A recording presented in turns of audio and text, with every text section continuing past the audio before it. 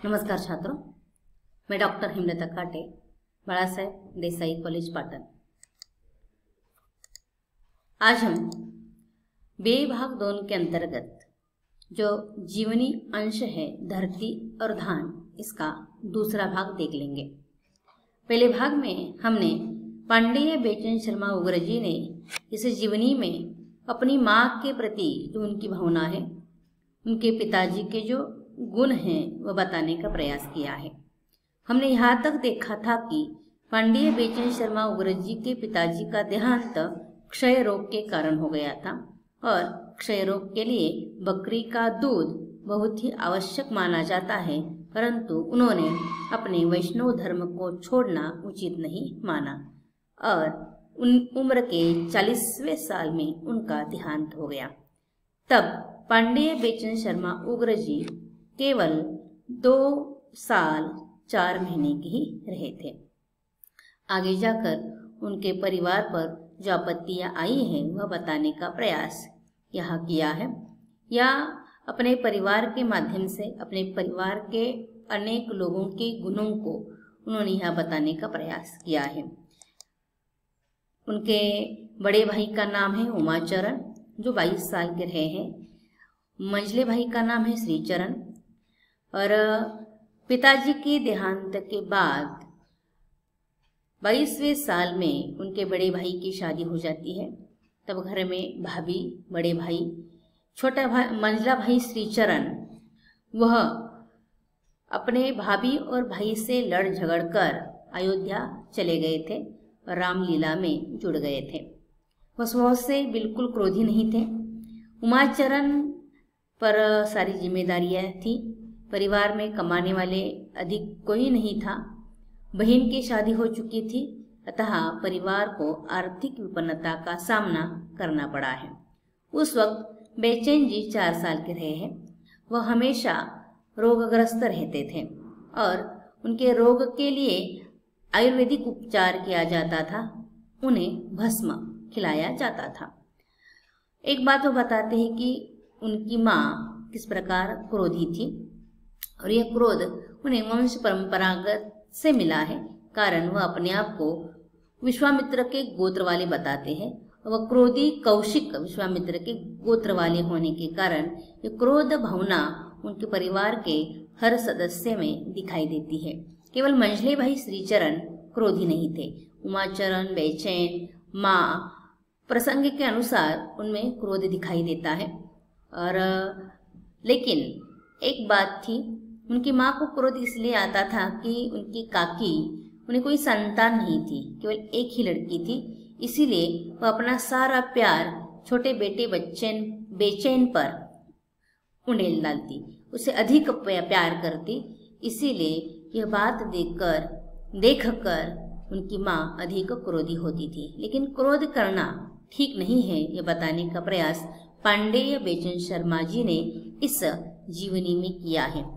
क्रोध चाहे पति करे या पत्नी करे, माँ करे या बेटा करे या कोई भी करे, क्रोध हमेशा पाप का ही धनी होता है, क्योंकि क्रोध का असर जीवन पर हमेशा बुरा ही होता है।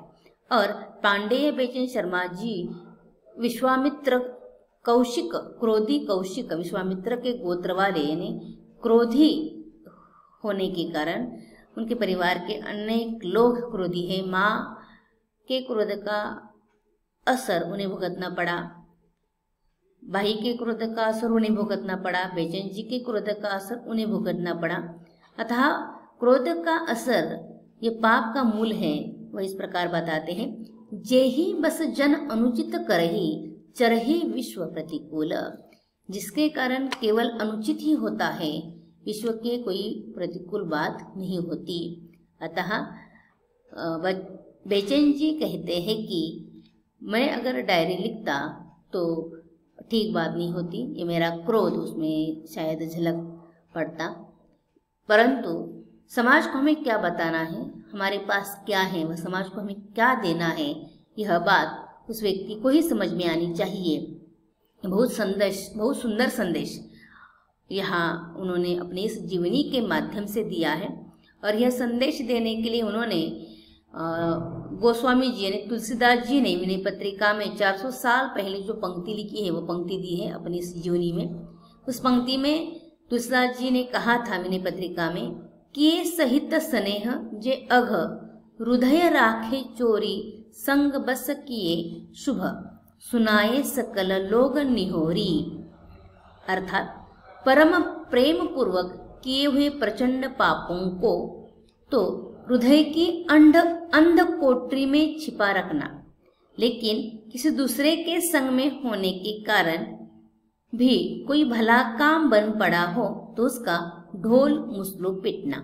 यानी दूसरों के साथ अगर आ, साथ अगर मिलकर हम कोई भला काम करते हैं तो उस तो उसका आप अधिक आ, लोगों को बताने का प्रयास कीजिए। अधिक लोगों को वह अपनी बात बता दीजिए, लेकिन जो हमने स्वयं कुछ प्रचंड पाप किए हैं, वह केवल हमें ही पता है, ये सारे पाप अपने हृदय की अंध कोटरी में छिपा कर रखने चाहिए। अच्छी बातें ही समाज को बतानी चाहिए, और बुरी बातें जो केवल हमारे तक सीमित है, वह हमारे तक ही सीमित रखनी चाहिए। ये बताने का प्रयास। 400 साल गोस्वामी तुलसीदास जी ने अपनी विनय पत्रिका में किया था। और यही बात आज अपनी जीवनी के माध्यम से पांडेय बेचन शर्मा उग्र आपके सामने प्रस्तुत करते हैं। और क्रोध नहीं करना चाहिए, क्रोध पाप का ही मूल है, चाहे कोई भी क्रोध करे। पति, पत्नी, माँ, बेटा, बाबा बेट या बेटी, कोई भी, ये क्रोध ठीक नहीं है। क्रोध के अस, क्रोध का असर जीवन पर हमेशा बुरा ही होता है और वह जीवन को नष्ट ही करता है। ये जाते जाते इस जीवनी के माध्यम से पांडेय बेचन शर्मा उग्र जी ने आपको संदेश दिया है। इसके आगे उन्होंने इस जीवनी के अंत में अपनी परिश्रमी परिश्रमी माँ का चित्रण किया है। और उनकी माँ कितनी भोली भाली थी, इसका एक छोटा सा प्रसंग यहाँ चित्रित किया है। उनकी माँ अपने बेटों को पैसे गिनने के लिए देती थी। साढ़े चार आने। तो बेटे साढ़े चार साढ़े सोलह आने गिनने के लिए देती थी। तो बे, बेटे वह माँ को कहते कि सही है ठीक है। दूसरा बेटा भी उसी प्रकार करता। पंद्रह आने देने के बाद भी सोलह आने ही आने है ही है ऐसा कहता। इस प्रकार वह भूली थी अपने बेटों पर विश्वास रखने वाली थी। और वह परिश्रमी थी अपने परिवार के लिए अपने कुटुंब के लिए वह हमेशा परिश्रम करती रहती थी। दिवाली के दिन, दशहरे के दिन, वह अकेली अपने कच्चे मिट्टी के घर को, बड़े लंबे चौड़े कच्चे मिट्टी के घर को, यहाँ उन्होंने एक शब्द इस्तेमाल किया दरिद्री घर को अकेली पोती। फटे पुराने कपड़ों से कथरी सी लेती थी, कथरी यानी गोदड़ी। फटे पुराने कपड़ों से कथरी सी लेती थी। कागज़ का पल्प बनाकर उसकी भद्दी टोकरिया बना लेती थी।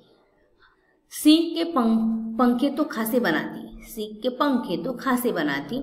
ब्याह, गौना, कथा, ऐसे समारोह में गीत गाती और गीत गाने में हमेशा आगे रहती। घर में भुनी भाँग न होती, यानी कुछ भी खाने के लिए नहीं होता। घर में भुनी भाँग भी न होती तो पड़ोस वालों से आस पड़ोस वालों से जाकर कुछ मांग कर लाती। वह पीसती, पीसते वक्त वह अच्छा गाना गाती, पीसती और अपने बच्चों को वह खिलाती। तब यह बेचन जी छोटे थे, चार साल के थे वह नाचने लगते। तो माँ कहती, पेट में पड़ा चारा तो नाचने लगा बेचारा। अर्थात अपने परिवार की सारी ज़िम्मेदारी अपने पिताजी के बाद माँ ने उठा ली थी। और अपने परिवार की जो दयनीय अवस्था है वह दयनीय अवस्था पांडेय बेचन शर्मा उग्र जी ने अपनी इस जीवनी के अंश में व्यक्त किया है। वह अपनी माँ को माता या माई न कहकर आई कहकर इसीलिए पुकारते हैं क्योंकि आई में हृदय की अंतर्गत भावना समाविष्ट है। कारण उनकी आई ऐसी ही, भले ही भोली भाली है, क्रोधी है, लेकिन वह परिश्रमी है। वह परिश्रम करके अपने परिवार का जीवन यापन करने वाली उनकी माई है। दयनीय अवस्था में भी वह खुश रहने वाली है। वह कभी कभी भी उसने अपने बच्चों के लिए जो कुछ करना है वह सब कुछ उसने करने का प्रयास किया है। इसीलिए पांडेय बेचन शर्मा उग्र जी के लिए उनकी माँ धरती और धान की तरह संरक्षक है और जीविका भी है। इस प्रकार इस दूसरे अंश में हमने पांडे बेचन शर्मा जी ने अपनी माँ की भावना को किस प्रकार चित्रित किया है, ये देखा। यह हमारा धरती और धान, ये जीवनी का अंश समाप्त होता है। आपने ध्यान से सुना, इसलिए धन्यवाद।